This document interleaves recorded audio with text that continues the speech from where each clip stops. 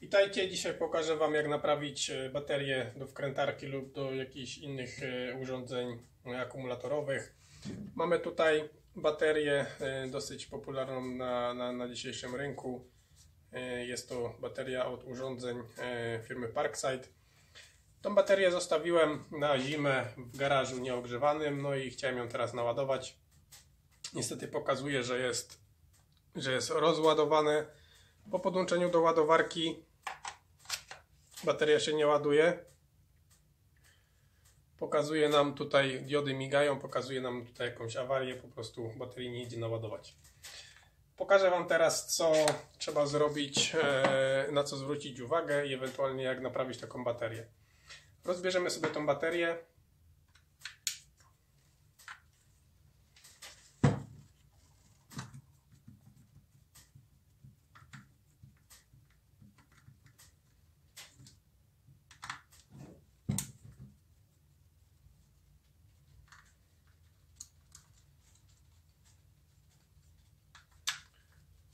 Pokażę Wam teraz, e, jak sprawdzić poszczególne ogniwa. Najczęstszym przypadkiem e, uszkodzeń tych baterii, to znaczy może nie uszkodzeń, ale e, problemem z ładowaniem jest nierówne napięcie na, na poszczególnych ogniwach. System wtedy wykrywa błąd i takie baterie nie idzie naładować. Sprawdzimy sobie teraz napięcie na, na poszczególnym ogniwie. Ok, baterię mamy już rozebraną. Teraz musimy sprawdzić napięcie na poszczególnym ogniwie. Sprawdzamy sobie po kolei.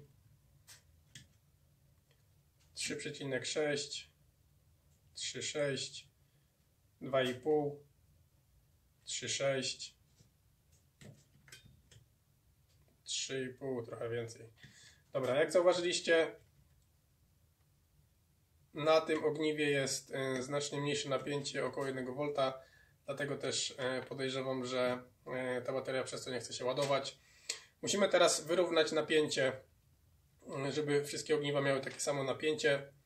Musimy podłączyć to ogniwo i wyrównać napięcie.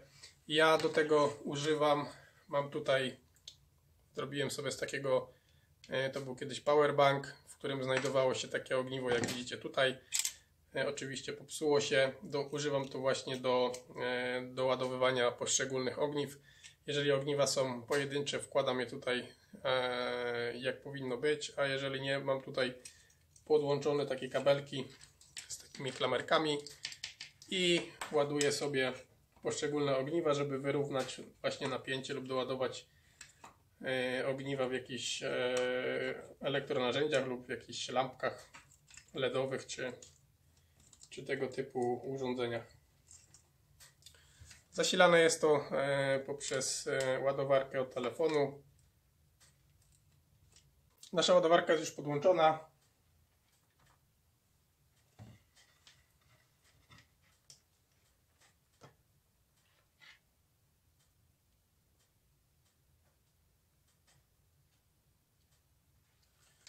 Napięcie nam już rośnie. Musimy teraz poczekać, aż napięcie wzrośnie do 3,6 V.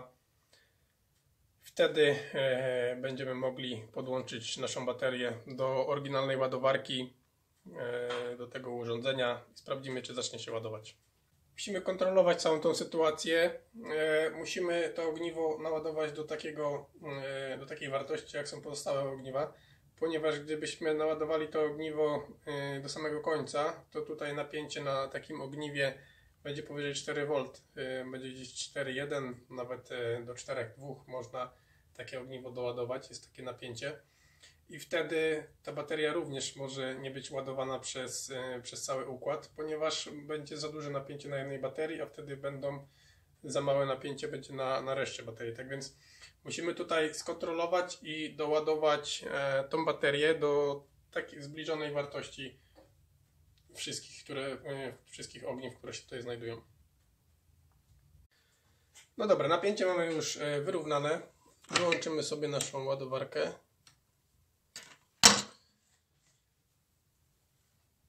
Możemy sobie spokojnie teraz wszystko tutaj odłączyć.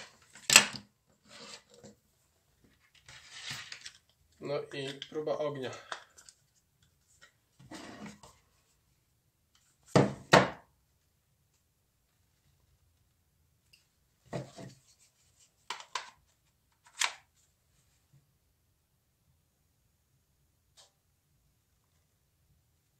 Jak widzicie, bateria zaczęła się ładować. Nie mrugają już tutaj żadne diody, tak więc wszystko jest w porządku. To jest właśnie naj, najczęstsza, e, najczęstsza awaria tutaj tych, e, tych ogniw, tych, tych systemów. Zdarza się tak, że padnie też e, na przykład jedno ogniwo, w którym nie ma w ogóle napięcia, wtedy też nie idzie tego naładować. Wystarczy wymienić tylko poszczególne ogniwo i takie baterie będą śmigały dalej, e, ale właśnie naj, naj, naj, e, najczęściej zdarza się właśnie tak, że nierówne, jest nierówne napięcie na ogniwach i wtedy cały ten system, który znajduje się w baterii, e, nie pozwala jej się naładować. Pokazałem Wam, jak, w jaki sposób można to szybko naprawić i takie baterie będą działały, działały jeszcze przez jakiś czas. Tutaj, tutaj u mnie był przypadek, podejrzewam, że leżało to na, na mrozie w zimnym i dlatego na jednym ogniwie spadło, spadło napięcie. Wystarczy sobie teraz to skręcić i wszystko będzie działało. Jeśli podobał Ci się mój filmik, zostaw łapkę w górę, zasubskrybuj mój kanał.